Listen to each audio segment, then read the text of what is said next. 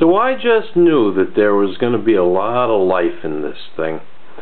This is from a sample uh, out of one of the canals they're rebuilding here in Beijing. The water was brackish and yucky and I just dipped a tube in and got a sample. And I knew it was going to be good because when I looked at the bubble sitting on the slide, it was walking off the slide by itself. So I see there's, talking of rotifers, there seems to be quite a lot of activity hovering around in here, and I think they might carry the microscope off here. Okay, that's the news for this video. Bye-bye now. Well, now wait a minute. It all, prints on a disc. Let me see if I can... Oh, oh, oh, oh, oh, hold on. I'm looking at the viewfinder of the camera.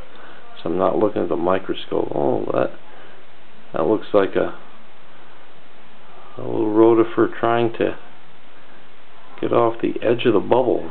But he done run out of environment. Huh. Maybe we can get a little uh, uh, boy this is tough to do. I can't.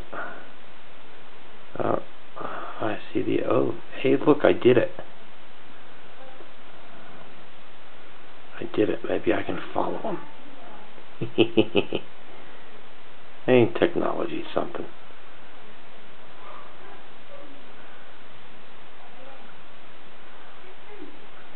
Okay.